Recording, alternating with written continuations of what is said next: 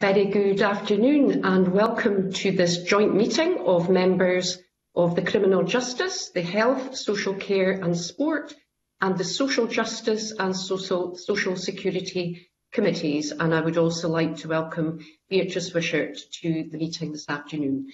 There are no apologies uh, and we agreed to convene jointly to consider the progress made in implementing the recommendations of the Scottish Drug Deaths Task Force.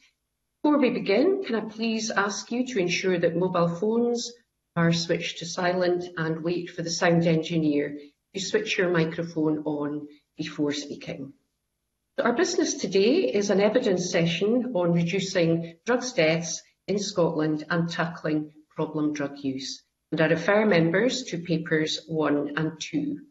And I welcome to the meeting Kit Malthouse MP, Minister of State for Crime, Policing and Probation, and Marcus Starling, Head of the Misuse of Drugs and Firearms Unit at the Home Office, the UK Government.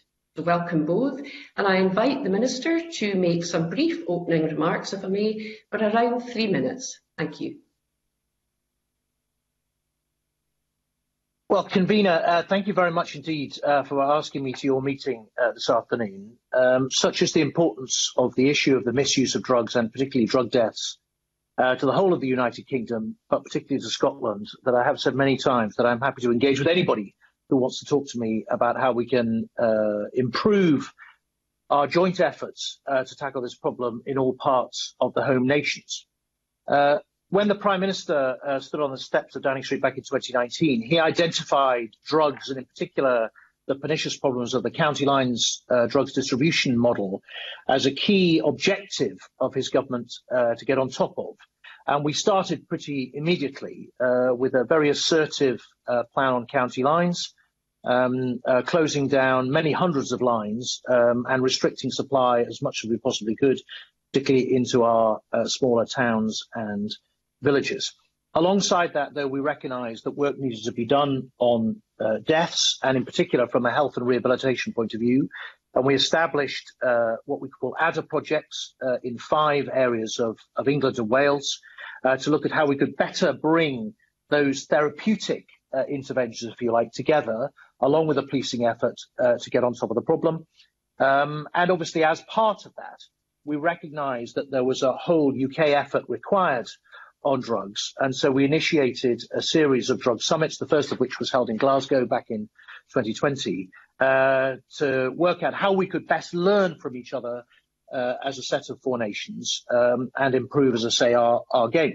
That all culminated last December in the launch of a uh, uh national drugs plan for England and Wales called From Harm to Hope, uh, with three broad strands, restricting supply, at which we're getting better and better, um, building a world-class treatment system, uh, rehabilitation system, particularly initially focused on those 300,000 heroin and crack users who are causing so much uh, problem, and then more widely, how we could reduce uh, demand. Now, in all of that, we obviously are pledged to work very closely with the Scottish Government. We recognise that while my job is about crime and that drugs drive an awful lot of crime, it's also uh, critical to the solution of so many social problems uh, in terms of family breakdown, degradation, and indeed that drugs drive so much poverty uh, and deprivation that we want to get on, on top of it. Our relationship with the Scottish Government has been very constructive, um, albeit the, the issue of drug consumption rooms where we differ, one of the few areas where we differ, no doubt we'll want to talk about that uh, today, is one uh, that we still continue to chew on. Uh, but my relationship uh, with Angela Constance is very good and constructive, and we've certainly had good conversations at the summits uh, that we've attended. So I very much welcome uh, your inquiry and your um, uh, natural and very well focused attempt to drive both governments, Scottish and United Kingdom, to greater and greater efforts in this regard. Thank you very much indeed, Minister. So I think we'll just um, move straight on to questions now. And if I may, I would like to start uh, with an opening question about safe uh, drug consumption rooms. Um, you'll know that many experts, people with lived experience, uh, committees such as the Scottish Affairs Committee at Westminster have recommended the introduction of safe consumption rooms uh, in terms of the contribution that they can make to reducing uh, drugs deaths in the UK. And similarly, Douglas Ross has said that he would not oppose the introduction of an overdose prevention centre uh, in Scotland, and neither should the UK government. So can I ask you firstly if the UK government is still resistant to their introduction, uh, and if so, the reasons why, given the strength of the evidence that seems to be behind such an, an approach, Minister? Well, as I said earlier, this is an issue where I'm afraid we do uh, differ with the Scottish Government. And while I've been open to reviewing uh, evidence, and uh, in particular any new evidence, I remain open to reviewing that uh, uh, whenever and wherever it's available. Having looked at the balance of evidence, um, much of it is about a small number of locations, it's quite limited, and while it does point to some benefits, uh, that is hard to disassociate from a wider health-led approach in which these uh, facilities generally sit. What I've said in the past, when this uh, debate was initiated, what, two years ago, when we had our first summit, was that my view um, then was that DCRs were kind of missing the wider point. The, the Scottish, uh, and in particular the SNP push on, on DCRs was missing the wider point, which is that truly to solve this problem, we needed a wider, uh, much more extensive and assertive health and rehabilitation approach. Now, happily, uh, more investment is going into that in Scotland. Uh, certainly at the last spending review, we secured unprecedented investment into building this world-class treatment system uh, here in, in England and Wales. Alongside that, uh, we do believe there are more complicated issues at play uh, that need to be considered around DCRs, not least some of the legal obstacles that have to be overcome. So, for example, uh, if you were to put a, a, a drug consumption room in Govan, uh, would people in possession of drugs in Bearsden on their way to Govan, would they be open to be arrested? Um, if the uh, drugs are supplied just outside, is that a crime? Uh, we also believe there are civil liability uh, issues that may attach to those individuals who work uh, in DCRs, who may administer the drugs in the awful eventuality of there being a death or some kind of uh, medical problem. So there are lots and lots of, of practical issues which would take time to work through, even if we were to step over that line and agree. Now, the problem, in my view, is so urgent in Scotland as it is in England and Wales. The numbers are so high um, that actually we will achieve much more by focusing down hard on really rolling out strong and assertive health intervention. And in particular, some of the new pharmacological interventions that we're seeing now uh, rolling out. So, for example, um, we've seen great success uh, in South Wales and indeed now uh, further afield in England and Wales with, with depot buprenorphine, a, a product called Buvidal, which is effectively, uh, which is an opioid, opioid agonist, but that has a ceiling to it. We've seen transformational effect from the administration of this drug, much better than morphine. And I know that the Scottish Government is looking carefully at how it can roll it out as part of the effort. Now, these kind of areas of expenditure we think will show much more benefit, are much more closely evidenced, and are likely to have much more of a wider impact uh, than us wrestling with these legal and practical difficulties of putting a DCR in place. Now, as I said, uh, I am quite happy to look at new evidence, and I've said I remain open-minded. But while we're considering that looking at that, we must, must step forward assertively in these other areas and do what we can to save lives. Thank you very much, Minister. Um, I'll maybe I'll, I'll hand over um, shortly to uh, to members to open up questioning. If we have time at the end, I may come back to the point that you uh, have raised around the uh, legality of safe consumption rooms uh, and um, the kind of current position on that uh, that has been taken by our Lord Advocate in terms of looking at uh, a proposal for Scotland on that. Um, so th thanks very much for that. So I'll now uh, hand over to Russell Finlay. Uh, Russell, over to you. Hi, good afternoon, Mr Malthouse and Mr Stirling. Um, now, quite rightly, the Scotland's drug death crisis is being treated as a matter of public health. but I do wonder whether sometimes we might lose sight of the highly dangerous and organised gangs who make lots of money from killing so many people. Can, can you just explain your thinking behind that? Well, we we firmly believe that uh, law enforcement is a critical part of the solution, um, and that while we absolutely have to make sure that we get health and rehabilitation right, we need to deal with demand. We also need to deal with supply. And you are right that there are large and sophisticated, very violent and unpleasant groups of individuals, both within the UK and externally, who are feeding the drugs in. Um, and they're doing it for money, um, and they're making a hell of a lot of money uh, as we speak. Um, now, we, we, we want to concentrate very much on that, and that's what we've been doing over the last couple of years with some success. But there's definitely much more that we can do, and in particular, in in particular geographies, we do think that policing can play a big part. So, for example, if you look at Blackpool, which is one of our ADDER areas, there we've put an ADDER project in, which is where we are coordinating um, the health and social interventions, housing, employment, yes, health therapy, treatment, rehabilitation, lived experience workers who can have contact with heroin and crack addicts. But also critical to that is that the police are throwing a ring of steel around Blackpool to restrict supply. So we've seen arrests for drug supply go up by 400% in Blackpool just over the last year or so. And the reason for that is that we want to make it less likely that when a heroin addict walks out of a therapeutic uh, appointment with somebody, they are less likely to walk straight into the hands of a dealer. And when a, an acquisitive criminal whose crime is driven by addiction, when they leave prison and go back to Blackpool into the accommodation that we're providing for them, they are not going back into the hands of a, of a dealer. So we do think that restricting supply is, is critical, and we're very, very focused on that at all levels of policing now in, the, in, in England and Wales. Yep, thank you. In your opening statement, you talked about the importance of joint efforts working together, yet the Scottish Government rejected an offer to extend ADDER into Scotland. Can you in any way quantify what the detriment might have been from that decision? Or do you think because there is already a national crime agency operating at the UK level, thankfully, uh, we, we continue to see those benefits? Well, you absolutely benefit from the, the, effort of the National Crime Agency, and I know that Police Scotland work hand in glove uh, with the NCA on, on some of this work.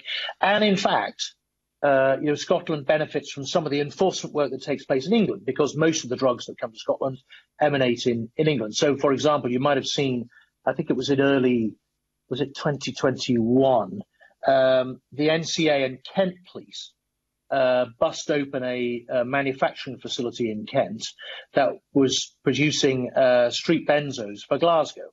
As part of that bust, they they uh, confiscated 27 million benzo tablets that were going to Glasgow. 27 million tablets uh, that were heading north of the border. Incredible volumes that were coming uh, from that factory. Uh, up to God knows how many uh, they sent up before we managed to get ahead of them. So, you know, we think we can do something in terms of restricting supply, and we'd love to do more. In terms of the ADDER project, um, I would be very keen to see an ADDER approach uh, in Scotland. I think it would uh, have benefits. Those, you know, I know there's a lot of work going on through the Drug Deaths Task Force, and they are part of our kind of ADDER information network because part of the the mission with ADDER was to create a sense of movement, a sense of, of a learning network who could look at different practice in different areas and move towards a model that would have the most impact. So I know that they will be looking very carefully, but uh, I would be uh, keen uh, to see as much assertive restriction of supply from Police Scotland as they could probably muster, not least also because geographically, from my point of view, Scotland has a huge advantage, uh, which is the, the, the exit and egress uh, from your wonderful nation is quite limited. Uh, essentially, the, there's a couple of railway lines and a couple of major roads. I know there's more than that, but in essence, um, and it, between us, um, it shouldn't be too hard to intercept and restrict that supply. Uh, that's travelling up and up and down the, the, the M1 and the M6 um, and the, the two rail lines um, to restrict the supply and, and just see what happens. Now we have some good relationships. There are organised crime partnerships uh, between the Northern Forces, Merseyside, Manchester, and Police Scotland. We'd love to see more of that, but um, it, it, it's absolutely the case, and I think you're, you're pointing to something that's very important, is that the drugs dang- gangs don't care whether it's Scotland, England, or Wales. They just care where they can make money, right? And we need to make sure that between us, we are on top of them as much as we can be.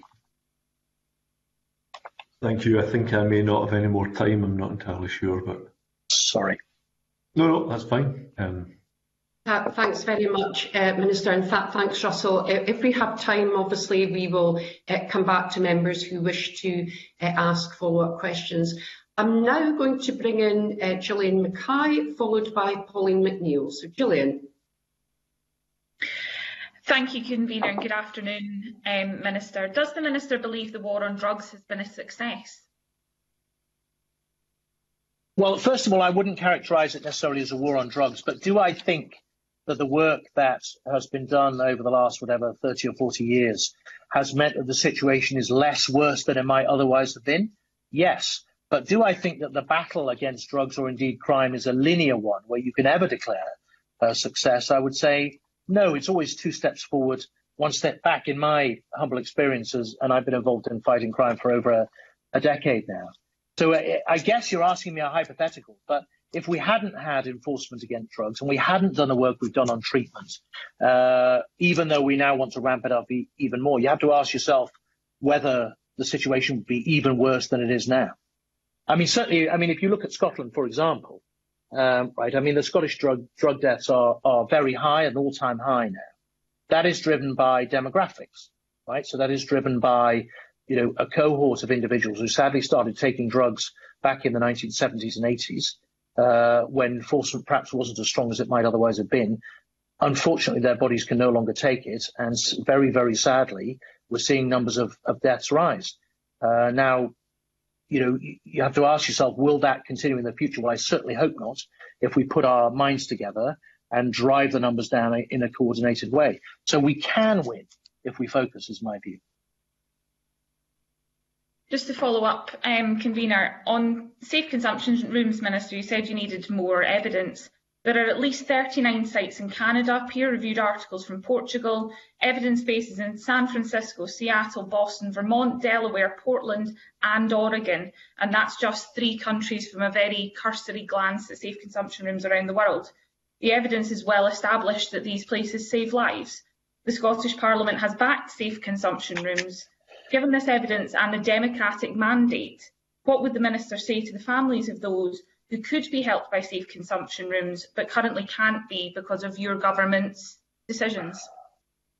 Well, I would say that if you look, for example, at uh, Portugal, uh, which you pointed to, uh, people always point to the drug consumption rooms and they never mention that the Portuguese uh, made a massive investment um, in health and rehabilitation right? Then, uh, and actually, that is what has had uh, the pivotal impact on reducing the number of deaths in that country. You also haven't mentioned the drug consumption rooms, uh, the number that have been opened and then closed down uh, because they didn't uh, work. And as I say, I am happy to look at new evidence. Quite a lot of the evidence that we've seen, and we've reviewed all that evidence, is around a small number of locations. And it, it, as I say, it's not necessarily up to date or telling us anything that we didn't know already.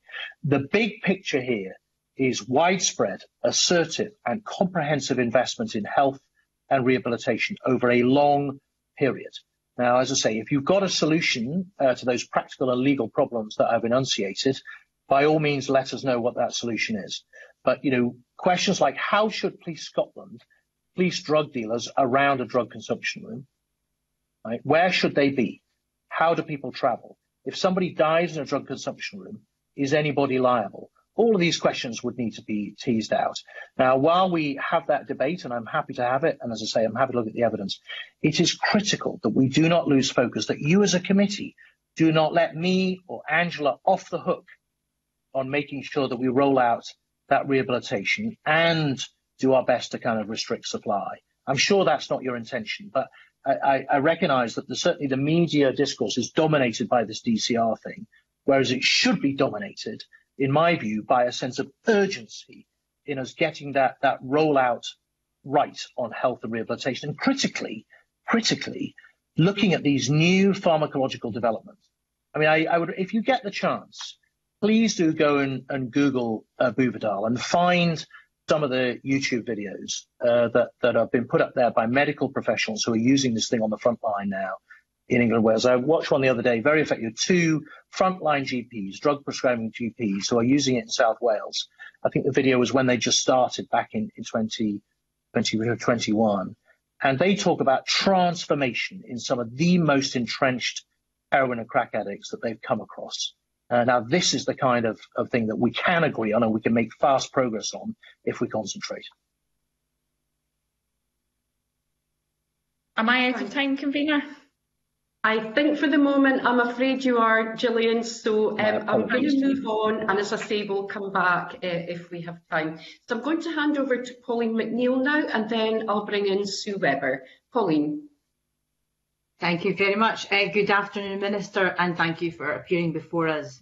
Um, I do want to press you further on safe uh, drug consumption rooms, but I want to be clear that's not because I don't agree with everything else you're saying, and I get the point that you make, but of the of the sites that Gillian Mackay refers to, I mean, there's 66 cities across the country, and there have been no deaths, and 300 health professionals um, in England and Wales had signed a letter following the Health and Social Committee uh, calling for this. So my question is, are you aware that the Lord Advocate in Scotland has said on the record, so this is Dorothy Bain, has said that if she's asked to consider the question in the context, of course, of, of rising deaths and the public health context, if she's asked to make a decision about whether it would be in the public interest to prosecute uh, in safe consumption rooms, then she will deliver a decision on that. I would give, I would caveat it, Minister, saying exactly as you said there, there are complicated questions um, but complicated questions can be answered in law. I mean, the example that you give in Govan, um, then to me it's quite clear the law can clarify that, that the law in the public interest would not be applied in order to save lives, but in the areas that you would designate. Okay, so so let me give you another example. Say you say a, a DCR was to open in in Govan, uh, but a drug user in Edinburgh wanted to jump on the train and go and use it. If they're apprehended on on the train uh, at, a, at the station in, in Edinburgh, should they be arrested and prosecuted? Yeah. Uh, if they say they're on their way to the drug consumption room. Yeah. Right, and my, my, concern is that you know um, uh, Police Scotland uh, may be put in a, a sort of tricky position in terms of what prosecutions they put forward and what they don't. And I think that we have to be quite careful about the signal we send more widely uh, on drugs and drug consumption and whether it's acceptable and whether we want to drive that number down. Now, you will have seen today, for example, uh, in the media, reports about the impact of, of cannabis on mental health uh, in Scotland, and then a rising number of cases of people who are showing signs of psychosis and other mental health problems because of excessive cannabis use. Now, we've seen some of that in England and Wales as well and it, it gives cause for concern about the confused signals that we might send around that and the, the position the police are in uh, where those messages are given. Now, look, I, I respect the position of your Lord Advocate. Obviously, that's for, for her to decide. Uh, but as I say, I, I, from my point of view, I think we need to be clear about the position, clear about the law, uh, invest in uh, uh, health and rehabilitation, and then do our best to try and drive down demand, particularly amongst young people who are taking drugs on a kind of casual, thoughtless, unthinking way, because there is no good way to take drugs. Right? It's mm-hmm. not good for your health. It absolutely is not. Um, and that's something we need to hammer home, I think. Thank you. Uh, would the Minister, would you, we acknowledge that the evidence so far suggests that it doesn't send out the wrong message, that it doesn't tend to encourage people to take further drug use, is the evidence that I've seen? And secondly, would you not also agree that, as you say, the questions about how would the police address it, I totally agree with you on that point, but could be dealt with. Um, I suppose that's the decision that a Lord Advocate would have to wrestle with, or indeed um, anyone else, as to what guidance would be issued in order to. So I do accept it's complicated, but do you not agree, Minister, it could be done? Could be done. Well, I mean, look, in, in a in a sovereign parliament, anything could be done. But what I'm saying to you is, I think there would be practical difficulties uh, that might make it uh, tricky to do so from a legal point of view, notwithstanding the kind of principled objection that some people uh, may have. Uh, I mean, there are lots of issues around geography, around travel time, around users, around civil liability. There are lots and lots of issues that need to be addressed. And and even if we were even if we were to say yes today, mm-hmm. right, doing all of that work would take time. And I guess what I'm trying to communicate to you is that the, the, the nature of the problem is, is so urgent and so much more of a difference can be made by building that treatment system fast, by rolling out uh, these new uh, interventions, uh, that I think we can overcome and certainly reverse the trend much more quickly that way than we can with this. So it's a question of, of division of, of effort, right? And my my colleague Marcus has reminded me, convener, I'm very sorry, there are there are other brands of buprenorphine available other than Buvidal. Um, it's a bit like a BBC. I've been advertising the brand too much. Thank you very much. Thank you. No apology needed, Minister. Thank, thank you very much. Um, I'm now going to bring in Sue Webber uh, and followed by Gillian Martin. Sue. Thank you, Convener. And I would just like to set the record straight, I think, before we get going in terms of my uh, leader Douglas position on drug consumption rooms. He doesn't oppose a trial of drug consumption rooms. And like the Chief Constable Iain Livingstone, he thinks there needs to be much stronger evidence uh, than exists at present before it can be taken on more publicly to support it. So I just want to make that clear for the record at the committee today. Uh, thank you, uh, Mr Malthouse, for coming along. Um, it seems from some discussions I've had that the SNP government have refused to sign up to the UK-wide scheme to real tackle uh, drug dealing through Project Adder. And I'm just wondering, uh, are there discussions ongoing on the scheme or is the SNP government still refusing to cooperate? Um, what reasons have they given for refusing to participate in the project? And in your opinion and in the opinion of the UK government, does that stand up to scrutiny and to put one more question on, uh, what resources might we have had in Scotland had we been taking part in this? Thank you. So obviously, uh, you'll have to ask uh, Angela Constance uh, uh, for her reasoning behind not going the full adder, right? And and I, you know, we we try to encourage uh, Scotland to, to have at least one. I was very keen to try and get one going in in Dundee, for example, where there's a, a specific geographic problem it, it would work well from an ADDER point of view. Um, I think the the the issue between us is is one of the of kind of what role the police take. Um, uh, you know, fundamentally, we both believe in a, a public health approach uh, to this thing, if that's the jargon that people want to, to use. But my view is that a critical part of that is, is police activity. Um, and to be honest, you, have seen that in the Scottish experience in the past. So all those years ago, uh, when knife crime was a massive problem in, in Glasgow, and the, the, knife crime task force got going and a public health approach was uh, adopted under Karen McCluskey, who I met then and I know well because I was uh, struggling with the same problem in, in London. Um, you know, people forget that the early years of that public health approach involved enormous police enforcement on knives, right? There was, there was a big role for the police to create the space for the longer term work to take a hold. And we think the same is true with, with drugs. And that's certainly what we're seeing in Glasgow and in South Wales and in Norwich and in Hastings and in Middlesbrough, where we've got the five initial schemes. We've now got eight accelerators in more urban areas. It's doing amazing work. And, and I have to say, if, if you, if you wanted to come, any of you, and visit an ADDER project in, in England and Wales, uh, just to inform yourself about the, the difference and the nuance, I would, that would be more than welcome. Um, that would be a, I think, a great thing to, to do. As I say, and so I, I, I don't want to necessarily, um, uh, if you like, uh, use it as a point of friction, if you like, because our relationship is a very positive one. As I say, uh, the Scottish Government is part of the ADDER network and they're watching and learning. And at our um, summits, we do present to each other about how we're getting on. Um, and we're trying to learn from each other as, as we go. But it would be great to have an ADDER in, in Scotland where Police Scotland could show what a massive contribution they could they could make to this effort. Thank you. Thank you very much, Sue. Uh, I'll now bring in Gillian Martin, and after Gillian, I'll bring in Paul O'Kane. Gillian. Thank you, convener, and uh, welcome, Mr. Malthouse. I'm coming from the perspective of the health convener. I'm the health convener in Scottish Parliament. That's a very simple question. Would the would Mr. Malthouse agree that people who are addicted to drugs are unwell? Yes, I think they are. They obviously have an affliction. Yes, um, and you know, we, we, I mean, the phrase we use is sometimes between us is that they are uh, sad rather than bad. Um, and we do think that obviously it's, it's treatable um, by some pharmacological means, yes. Well, I mean, in response to the recommendations to, to the drugs uh, desk task force, um, Mr. Malthouse, you said that safe uh, consumption facilities, I'm sorry to go on about this, but you, you say that they, there's a, they may condone drug use.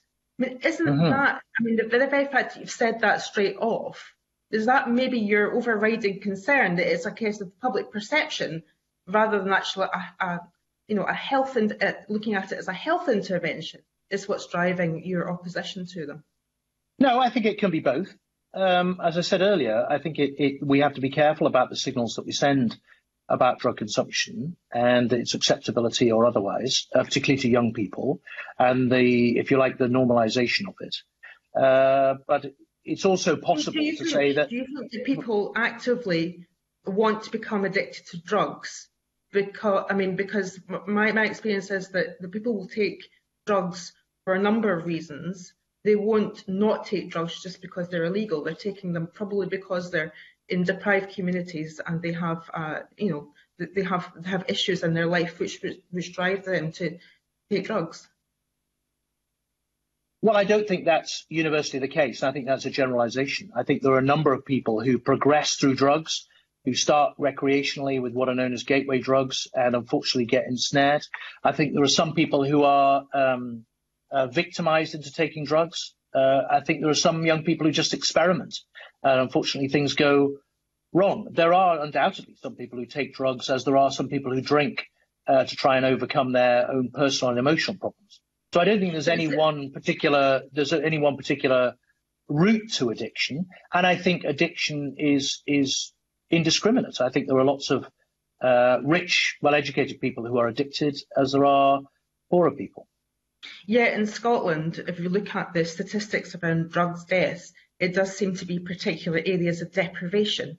Um, and so, so the minister, you know, you are asking Angela Constance for, for evidence. She's written to you uh, today to, to point to the, the trials in New York, and I've got I've got a mm-hmm. letter here where she says that 59 people have been saved in the three weeks since they opened. I mean, is the minister content to look at that new evidence and, as you know, Sue Webber said, to facilitate a trial um, which would give us that Scotland-based evidence so that we can make decisions from a public health perspective? So I'm certainly willing to look at the new evidence, and I didn't know Angela had written to me today, but we'll certainly uh, look that out and, and, look at it urgently. That has always been my my offer. As I say, I remain open-minded, and and we'll have a look at what the wider health intervention in New York has been, um, as well as as the the safe cons consumption rooms. But as I say, I I, I don't think you and I are uh, are, are particularly different. My view on this is that you know the way to deal with this issue, particularly these uh, very unfortunate heroin and crack addicts, very uh, you know who are afflicted by this addiction, is to treat them, right? Get them into long-term rehabilitative treatment. Um, and that will include residential and treatment of the community and looking at what more we can do and some of these new developments in pharmacology. Right? There's lots that can be done there. We should be focusing massively on there because that will be where the big wins are. Does the Minister accept that safe drug, drug consumption facilities might be a gateway for people to get treatment? Well, there are a number of gateways. I mean, look, as I say, I'm happy to look at the evidence. At the moment, uh, I don't remain convinced that this is the silver bullet that everybody thinks it is. No, there's no um, silver bullet. No, exactly. Right. And so, as, as I've said many times before, and when I when we first started this debate, I think I, you know, uh, headlines in the uh, in the Daily Record or that I said drug consumption were a distraction. And happily, shortly thereafter, or a year or so later, the government, the SNP government announced, you know, big new investments in health and, and rehabilitation, exactly the right thing to do, um, as we have announced in the last uh, few months as well. So let's crack on with that and see the big difference that's going to make in these people's lives. Thank you. I've run out of time. Over to you, convener. Thank, thank, thank you very much indeed. Um, okay, I'm going to hand over to Paul O'Kane and then I'll bring in Elena Whitham after that. Paul. Thank you, convener, uh, and good afternoon, uh, Minister. I suppose following on from themes that we perhaps already have heard, I'm the Deputy Convener of the Health Committee and want to focus on public health approach to this. Mm. Um, so perhaps if I can just ask the Minister, first of all, would he view um, our action to tackle drugs death as a public health intervention uh, and that requirement for that, or does he see it as a criminal justice issue? So I think it's both. Uh, as I said before, I think that you, you know, when you when you're when you're dealing with um, uh, heroin and crack addicts, particularly, right? Because these are the, the individuals who were most concerned. I know there's a lot of poly drug usage, and uh, most of those, I think, who, who sadly die in Scotland often have a number of substances in their systems. But nevertheless, the fundamental at the base of it is heroin and crack.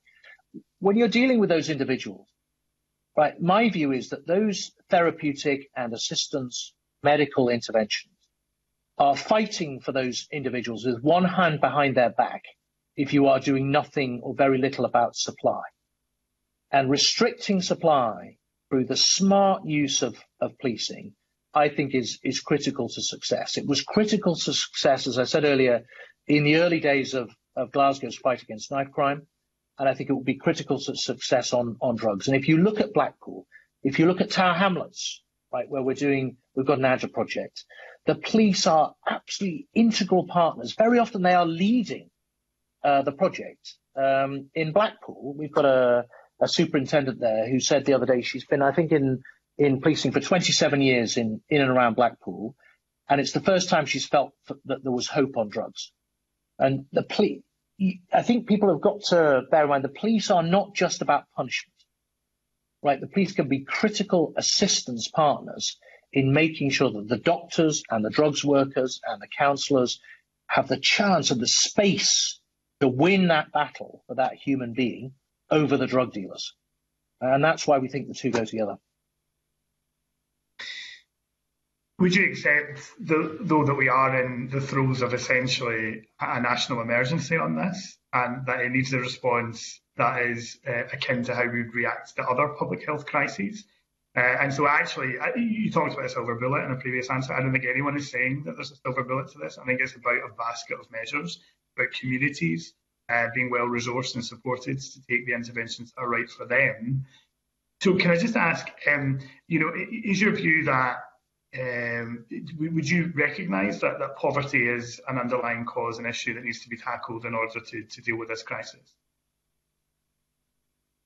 No, actually, I don't. I think that it's the other way around. Uh, and the same is true of violence. I think that drugs and violence drive poverty, not that poverty drives those two. There are lots and lots of people who live in deprived areas who don't take drugs and who aren't violent.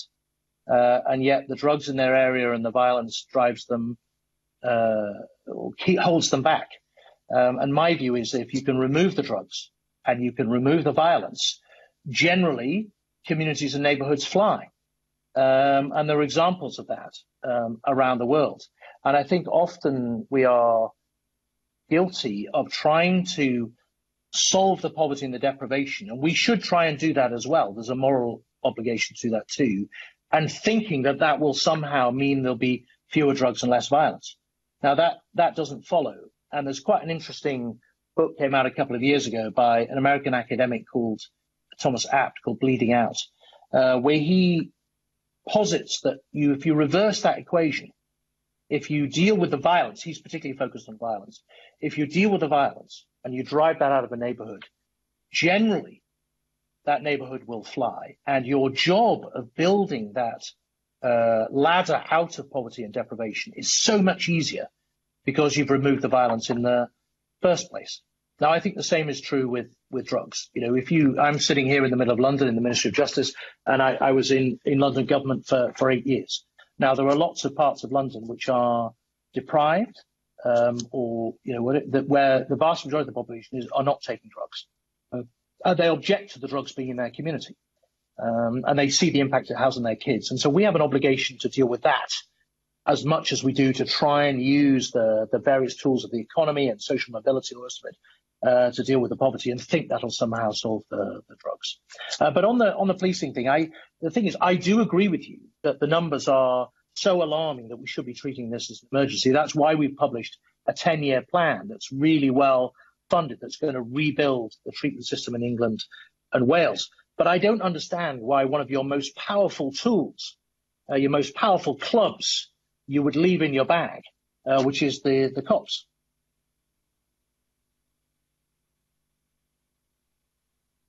Okay, thank you very much, Paul. I, I take it that's you finished. Uh, thanks very much. Um, I will hand over in that case to uh, Elena Whitham and then I will bring in Jeremy Balfour after that. Elena. Thank you very much, Convener, and welcome to you, Minister. Um, my questions are, are coming from, um, I'm the Convener of the, the Social Justice and Social Security Committee, but also a former women's aid worker and homelessness worker who spent a lot of time supporting people with misuse. Um, so my, my, first question is around um, poverty, and you were just actually speaking about it. So we know that there's very strong links between poverty, deprivation, adverse childhood experiences, trauma and drugs deaths, especially here in Scotland. And we know it's a very complex multifaceted issue to address. Would you agree um, with the opinion that Scotland's particularly high rate of drugs deaths reflects historical patterns resulting from economic policies of the 1980s? And you can also see this in the northeast of England. And do you have views on which particular anti-poverty programmes will have the greatest impact on reduce, reducing drugs harms? For example, um, the Scottish Government's new child payment. So it's definitely the case, as I said earlier, that there is a, a demographic element to the drug deaths that are seen in Scotland uh, of people who uh, started taking drugs in the in the 70s and 80s and and continued to do so, and whose bodies now are unable to tolerate it, and and, and therefore sadly are are dying in, in numbers that are too high. Having said that, what I don't understand is why it's so particularly bad in Scotland versus, say, the north of England or other parts of the of the United Kingdom.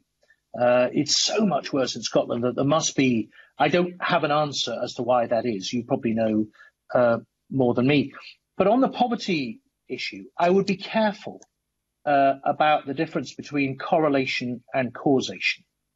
Uh, as I've said before, uh, just in my previous answer, you know, there have been lots and lots of attempts at uh, dealing with, um, over the years, dealing with the underlying problems of, of poverty and deprivation, uh, in the hope that that would deal with what was perceived at the time to be the product of it, violence and drugs and all that kind of stuff. And in fact, uh, more often than not, where we've seen around the world, where it's the other way around, where you deal with the violence and you deal with the drugs first, generally people who live in those areas uh, will fly. And in particular, young people will fly. There's a very interesting uh, project in, in the States, uh, an area, I think it's of Miami, called uh, Tangelo Park, uh, which was a, a neighborhood riven by crime and low achievement uh, lots and lots of people unemployed, um, ethnically a very diverse uh, area. And um, American philanthropist, he might be a dentist or run some kind of medical thing, um, he decided to adopt this neighborhood and he promised them uh, uh two things. Uh, one was um, uh, free preschool childcare, and two, he said that anybody who could get to college would get a college education for free. Um, and over the intervening, whatever, 10 or 15 years, the, the, the incentive and the intervention meant that that area has now absolutely flown. Um, and alongside that, obviously, they dealt with all the social problems of violence and held them back because the community was given control of that stuff. So there's, it's more complicated than just saying poverty drives these things. I think very often. If, if I could, if I could push you and return you um, back to Scotland, we know that the cohort of people that we're seeing the most drugs deaths in at the moment are people my age, born in the 70s, who experience the lack of a just transition from the closure of our pits and our industries. And it's those individuals who are now seeing multiple depri deprivation and problematic drug use. And we know that there's an issue with poly drug use in Scotland. But I would like to now turn my, my tiny time that I've got and just push you again on the issue of public health um, approach versus a criminal justice approach. Um, and it seems to me that the UK government's 10-year strategy really heavily focuses on a criminal justice approach.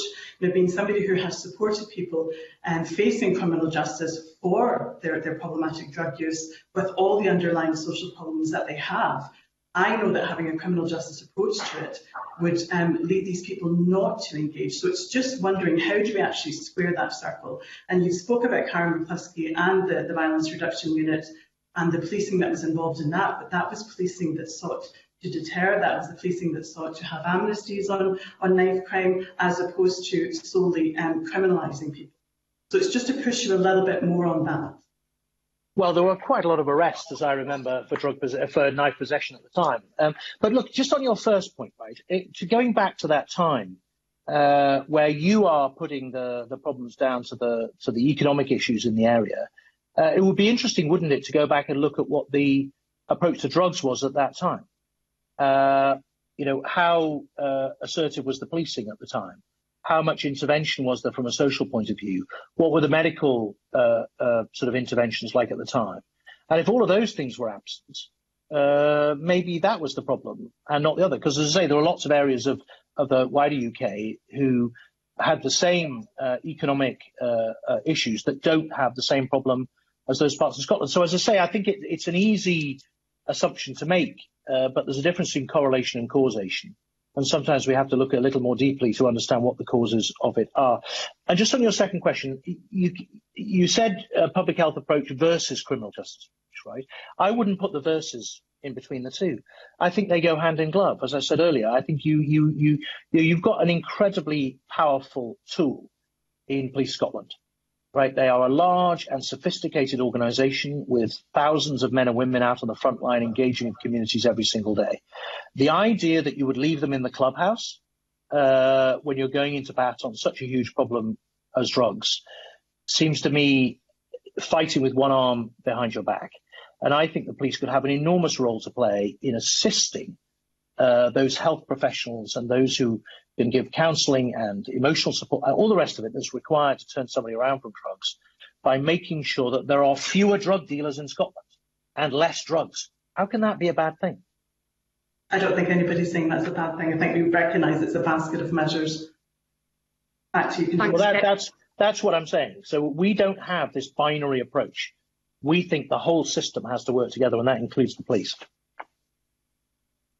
Thank, thank you very much indeed. Uh, I'm going to move swiftly on and I'm going to bring in Jeremy Balfour, followed by Foysol Choudhury. So over to you, Jeremy. Uh, thank you, Convener, and good afternoon, Minister. I wonder, can you tell me the amount of money that has been invested in, in Project Adder cities that have been set across England and Wales? And do you know that if Scotland had bought into this, what the Barnett consequences would have been for that? Well, I will have to come back to you on the Barnett consequence because I know it's a complicated mathematical uh, mathematical equation that gets to where it might uh, be. On Adder overall, how much do we spend in total? We'll write to you. It's now running into the many millions because we've just expanded. You've got me on that one, um, but it's quite a lot. Um, uh, we'll come back to you on that number. Um, and we'll come back to you on the Barnett consequentials might be. And to be honest with you, if I could, um, I would have, have, given you some of my budget to establish a, an adder in, in, Dundee. I don't know what the legal position on that would have been, but I would have been quite happy to to, to contribute. It, it, would be helpful if you could come back to us, Minister. Um, I will. With that, I might appreciate that. Uh, the second area I just wanted to explore is in regard to treatment and the availability of treatment. So if somebody is is wanting to come off drugs and clearly needs that treatment, um, I mean, would you agree with me that that treatment has to be available as soon as possible for that person, and even weeks or months delay on a waiting list will then put people off looking for that treatment. The key fact around any health prevention is making sure the treatment is available when that individual wants and needs it. Yeah, no, that's you're exactly spot on. I mean, we in England and Wales are not yet in that position, but we recognise also that there are critical moments in people's lives when they do want to access that treatment. There are moments in their existence when we can, you know, either entice them or when they decide for themselves they want it. So, for example, uh, one of the key areas we're focused on is exit from prison. right? We know that, you know, a huge proportion of people in, in prison have a drug addiction, uh, or did have, and are likely to go back to it when they leave. We're in a position now where we will be offering a place to every single person who leaves prison with a drug problem. Uh, to make sure that we can try and transition them back into society.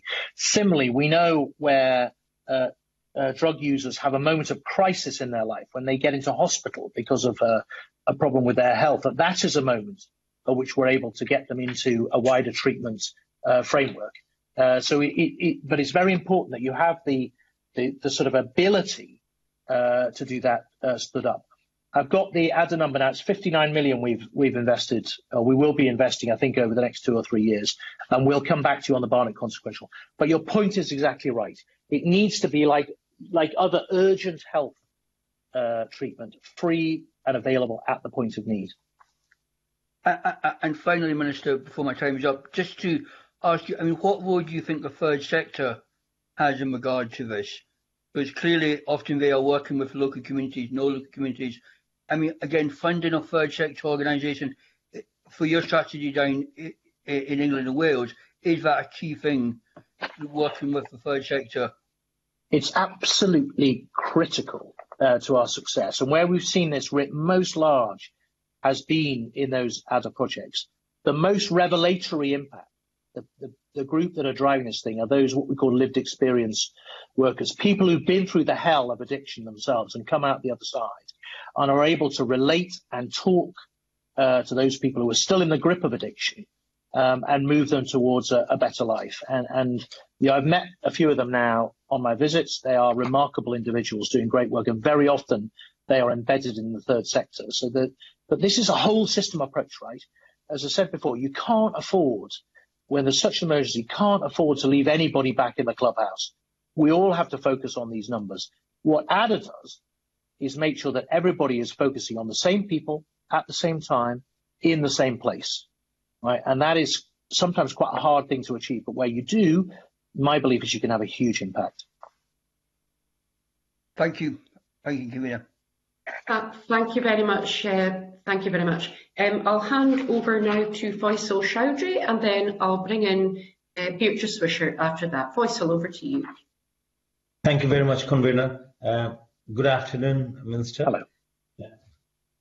The UK government drug strategy launched in December seems very much focused on the ousted law and order to approach to tackling the drugs crisis. Do you not agree that the response to drug addiction needs to be public health focused? Okay, so as I said in my earlier answer, I think that is a mischaracterization of our approach. Uh, we believe this is a whole system approach and that a public health approach involves the police uh, in restricting supply. Now, we've shown over the last uh, couple of years that the police can have a huge impact on supply. You know, we've closed 1,700 county lines. Uh, we've uh, arrested over 7,400 drug dealers. Uh, you know, we've critically rescued over 4,000 young vulnerable people you know, victimized into drugs. And uh, we shouldn't forget them, right, from a health point of view. Um, uh, so there's there's lots and lots that, that policing can do. But key to the policing uh, of drugs is to remember two things. First of all, we very much have to focus on on the jugglers, the people with unique skills who are driving this industry, right? Not the sort of front ends, you know, low level. They are very often victimized into this thing or brutalized into drug dealing. Um, and secondly, we, we think by focusing on drugs as a business, looking at the mechanics of the business, uh, that we can, we can interfere with their business and make it harder for them to get drugs into all of our constituencies. So the work we've been doing with the three big exporting forces, Liverpool, West Midlands and London, uh, where they have been developing their techniques of using the telecoms that these drug dealers use against them uh, now securing enormous numbers of convictions. I think the Met are getting 90 odd percent conviction now on telecoms evidence alone. You know, this is the way to turn what is at the moment a, a high return, low risk business into a low return, high risk business, uh, which is exactly where it ought to be. So, so uh, please don't make the mistake of thinking that policing doesn't have a huge role to play in combating drug misuse alongside uh, the, the health and therapeutic interventions. It's all a public health approach. Thank you, Minister. Uh, my second question is, organized crime continues to uh, blight our communities and, uh, and prey on people suffering from drug addiction. Cross-border and cooperation between police forces and crime agencies has an essential role to play in tackling organized crime. Can you provide some detail on how Police Scotland and other police forces in the UK are working together to ensure organized crime bosses face justice? Well, so Police Scotland have a number of operational relationships, uh, which hopefully assist them in the fight against organised crime. And you are quite right uh, to identify this as a, a, key driver. We know that there is a large and sophisticated logistics operation bringing drugs from South America and from Afghanistan into Scotland. Um, and we know this because, you know, two years ago, the National Crime Agency, through a thing called Operation Venetic, cracked open a bespoke communication system, uh, which these networks had built for themselves. That's what's resulted in so many arrests in Scotland and elsewhere of, of these kingpins and, and, drug dealers. So they have those relationships with northern forces. I think there are uh, serious organised crime relationships with uh, uh GMP, with Merseyside, um, obviously, they have a close relationship with the, the Met just through the sort of national uh, frameworks, and then obviously the National Crime Agency, embedded there in Gartcosh, of course, uh, where I went to visit uh, last year. Um, that is very important that they have a close relationship. But could there be more uh, to bind them into this overarching UK approach uh, on drugs? Absolutely. Not least, for example, as we do more and more work to secure, for example, drugs coming in and out of the border. We want to make sure that stuff isn't diverted uh, um, around the coastline into other areas. There's lots of areas that we can we can cooperate on, and I'd love to do more. Um, I'd love to do more. Thank you very much. Convener, I think I'm out of time. That, thank you very much indeed. Uh, I'm going to uh, bring in uh, Beatrice Wishart next. Um, if members are um, happy uh, and are comfortable with extending the meeting, uh, maybe by five minutes or so, and of course the Minister as well, then I'm happy to do that in order that members can Uh, ask some follow-up questions. If, if that's a, a, an issue, uh, please feel free to just update in the, in the chat function. But in the meantime, uh, I'll bring in Beatrice Wishart. Beatrice. Thank you, Convener, and good afternoon, Minister. You've indicated that we must all do what we can to work together to save lives and that you're focusing hard on health interventions in this drugs death crisis. Do you think that in order to help bring it under control, global mortality experts are needed to assist the drugs death task force in what many people consider to be a public health disaster in Scotland? So I, I, I think in all areas of social policy, uh, we have a moral duty to look around the world and seek assistance where we can.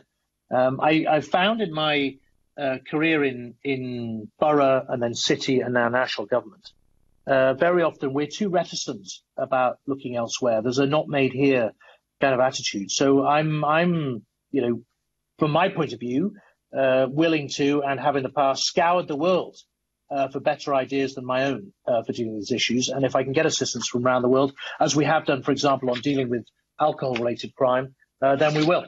Um, and certainly, uh, I would point uh, you towards the work of the, the Advisory Council on the Misuse of Drugs in England and Wales, who give us enormous help on gathering that evidence and looking at some of the issues we face. And obviously, we have a drug recovery champion, Ed Day here, who similarly uh, attends, looks at, feeds in information from around the world about what's happening on, on drugs so that we are in the best place uh, to make an impact. Thank you. And you've also emphasised health and rehabilitation investment as being critical, but not the only action that can be taken. And I realise I'm covering ground that other members have uh, raised. But I wanted to ask about the importance of tackling poverty and deprivation within that health and rehabilitation strategy so I wondered if you could expand a bit more on, with your thoughts on that. Well, as I said earlier, my, my general view is that certainly my job is to remove the drugs and the violence uh, from neighbourhoods so that the, the other arms of regeneration and ambition and uh, social mobility can do their work unimpeded by criminality and degradation. Um, and and that seems to me to be the the right way around. Um, you know, there's there's also the big area that we ought to talk about, uh, which, which we haven't been questioned on today, which is the role of of so-called uh, recreational drug use. Um, there are lots and lots of people who are unthinkingly taking drugs, who regard themselves as not addicted, um, but who are nevertheless driving uh, violence and degradation and are feeding profits into the same gangs who are causing the deaths in Glasgow and Dundee and Edinburgh and elsewhere. Um, and demand reduction, dealing with them, uh, educating them and bringing them to understand the role they play in this vast international criminal network is critical to success too. Those, I think, are the three pillars. You know, police restricting supply, us dealing with those poor people who are addicted on a health and therapeutic basis, but then also doing something to drive down wider demand, particularly for cocaine and cannabis across the whole of the United Kingdom. Thanks, Minister. Thanks, Convener. Thank you very much, Beatrice. That's that's that's appreciated. So um, we've now come to the end of the session, but I, I, I do have a bit of time if members are happy uh, for us to extend to about uh, 1635. Uh, and so I'm going to bring in uh, Gillian Mackay, uh, followed by Russell Findlay. Uh, Gillian. Thank you, Convener. I think we could have been here all afternoon discussing this. Um, Minister, drugs are often cut with everything from baby powder to rat poison to even cement dust. Testing drugs would prevent poisoning and further pressure on health services, which are of course devolved. To ensure we can save lives, would the Minister devolve powers to allow the Scottish Government to set up drug testing? So I wouldn't devolve the powers, but obviously, as you know, people who want to, to test drugs can apply for a license. And certainly I know my officials have had conversations uh, with Minister Constance's officials about what that process might look like uh, should people feel the need uh, to apply for, for a license to test. I mean, obviously you will understand uh, that we uh, do test ourselves uh, in certain circumstances where we see there's a, a rash, perhaps sadly, of, of deaths or people being hospitalized because of use of drugs in particular geographies where we link together it's being cut with horrible stuff. Um, uh, but if if that's required, then licenses can be applied for. Um, uh, but that's a that's a well-known kind of Home Office system. As I say, we can work with the with the Scottish government to to elucidate how that might work. Thanks, Convener. Thank you very much. I'm going to bring in uh, Russell Findlay now, who's been patiently waiting, and then if there's time, I'll bring in uh, Foysol Choudhury and Gillian Martin. Russell. Yes, indeed. Thank you. Um, now, there's a lot been said about drugs consumption rooms and questions which have, from those who zealously uh, want these rolled out, presumably in every Scottish town and city. And it's worth just repeating what the Chief Constable said, which is he needs stronger evidence before he could support these. Now, should there not perhaps be greater emphasis on helping drug, drug users rehabilitate than there is on encouraging drug taking? And is there not a slight risk that in focusing on this contentious issue, we're distracting from the SNP's own record, which has been to preside over a doubling of drugs deaths in Scotland since 2008 to now become the drugs death capital of Europe? Well, look, as I said all those, whatever, two years ago when I, I came to Glasgow and, and had the first drug summit, my view was it was a distraction from the big picture. And I was urging then uh, for major investment in, in health treatment. And happily, uh, that is then what happened. Uh, I think just before the last uh, election for the Scottish Parliament. Uh, and very welcome that investment is as well. Uh, so I, I completely agree with you that uh, the big win here is on investment in health. I've been successful in, in persuading uh, the UK government of that, and we've got hundreds of millions of pounds now uh, to rebuild that system here in England and Wales, and I hope the same will happen in, Scotland. And I, I have said again and again that I do think it is a distraction from the really important work of building that system. And you are right. uh, that we are better in the long run to uh, rehabilitate people away from drugs um, rather than, than than put in place a, a and and I will look at new evidence when it comes, uh, but at the moment I'm not convinced. Thank you. Thank, thank, thanks very much. Uh, and finally, I'm going to bring in Gillian Martin just to ask the final question. Gillian. Um, want to pick up on what Julian Mackay asked the, the Minister there, and he mentioned that licences might be available to assist in drug checking. I mean, I'm not aware of, of this licensing system. It's the first time I've had heard of it. I mean, if there's a licence available for that kind of facility, could that also be a vehicle for a pilot project for a safe consumption, consumption facility? Well, no, because as I said before, a number of offences would be committed in in that uh, in that kind of facility at the moment. Uh, the licenses are, are you know, the, the, Home Office has a licensing system. Um, I think in the past we've granted licenses for kind of back end checking of drugs, i.e., that's for drugs that are surrendered, so they're not returned. Um, uh, but uh, as I say, we look at every application on its own merits, um, and that's what we'd be happy to do uh, in this situation. Um, but also, don't forget to, to put DCR DCR in place primary legislation would be needed uh, to overcome any of these ones, if indeed legally they could be overcome.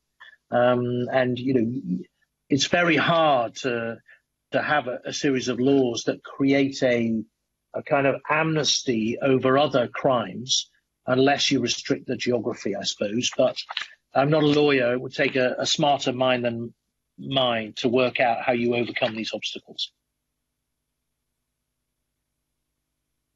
Thank you very much indeed. Um, that completes uh, the evidence session. Time, as usual, is against us, but I think we've uh, covered a, a, a lot uh, this afternoon. So uh, can I extend my thanks, Minister, uh, and your officials for attending uh, this afternoon. and if members obviously have any further questions, we, are, we will follow these up in writing with you.